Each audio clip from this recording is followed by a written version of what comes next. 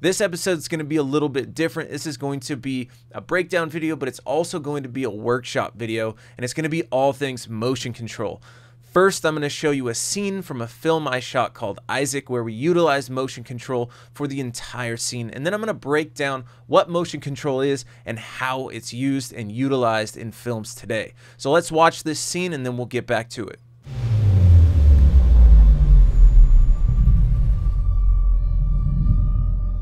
Fuck you gonna do with that choir boy?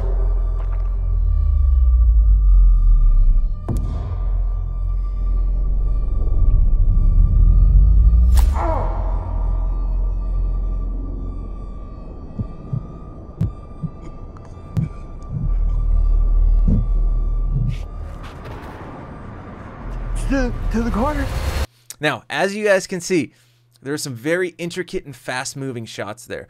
But before I break that down, what is motion control? Motion control is using a robot or some piece of equipment that can give you repeatable action. So in my case, we use the Bolt. And now here I am. We're on uh, Camera Control's website. Camera Control is a motion control company.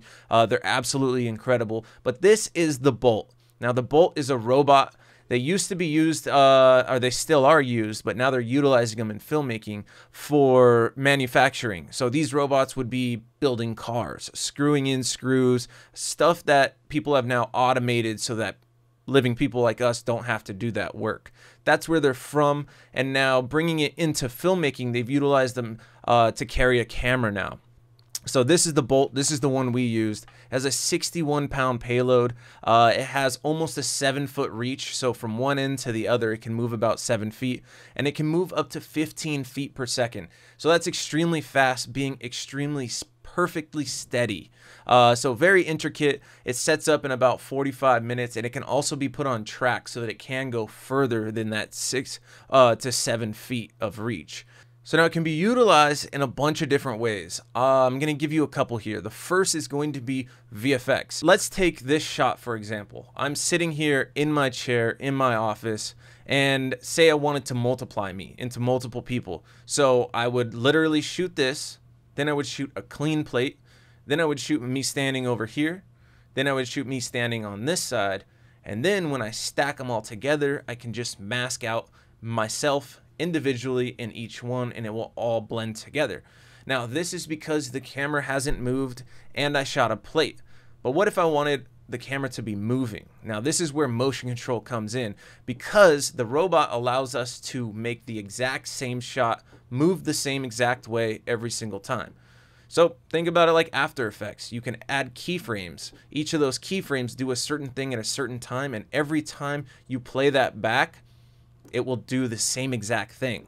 So if you want your camera here, and then you want it to move over here, then you want it to move down here, then you want it to move here, then you want it to pull back.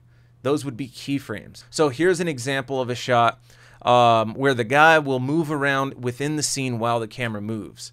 So as you can see, he's sitting in the chair. Now he's up in the background. Now he's over on the left. He's in the middle. He's with somebody else. And the camera doesn't look like it's jumping, right? It's the same shot, but they're able to program it so that it does the same exact move every single time. Now, another way to use this is to shoot something that's moving extremely fast and capture the action like you've never seen it before.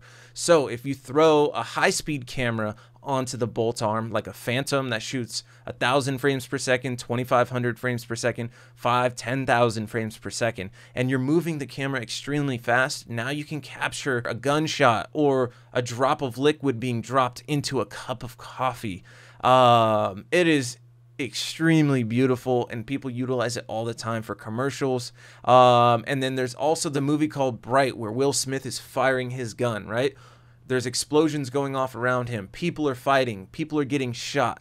But the camera is moving so fast, it spins around him to see what he's looking at. And the camera movement actually looks like it's in real time while everything around him is slowing down. Now, this is making you feel like you're inside his head with him. It's giving you this this surreal type of element to tell the story in a different way, right? Everything slows down, but we're still with him, moving around him in real time. Now that's because the shot happens extremely fast. Now as Will Smith is standing there firing the gun, it looks like the shot takes about 10 seconds total. but it actually probably happened in about one or two seconds. So the camera is literally going zzz, moving that fast. And uh, if you look up the behind the scenes, you'll see that the camera is literally moving 10 times faster than you actually see it in the final. And that's because it has to look like the camera's moving in real time to make everything else around it move in slow motion.